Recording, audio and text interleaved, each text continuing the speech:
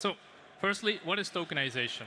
So, tokenization is creating digital tokens that represent real world assets um, in the real world. So, to give an example, we're collecting wine, for example, and we want to trade wine on a global scale. So, what we do is we take the real world asset and we create a token for the wine bottle so we can easily trade it on a digital global market. So instead of having to deal with like the physical shipping of bottles, you can now start buying the token, you can sell the token to other people without actually having to move the wine bottle itself. So it saves you a lot of money and cost.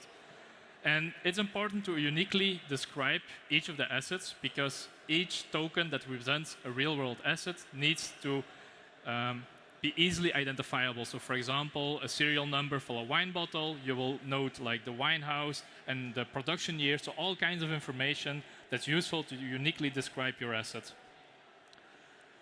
So why would we even tokenize real world assets? So first thing is accessibility. By tokenizing real world assets, more people will get access to your underlying assets. So for example, you have a real estate portfolio, you can tokenize it, and people all across the world can start investing in your real world, uh, in your real estate um, portfolio.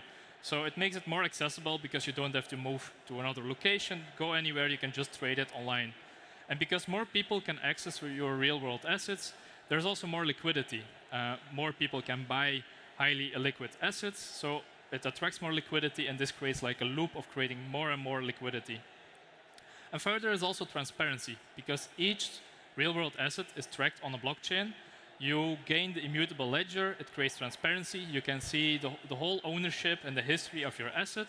So you can see what has been done to your asset, where it has been traded. So everything is transparent.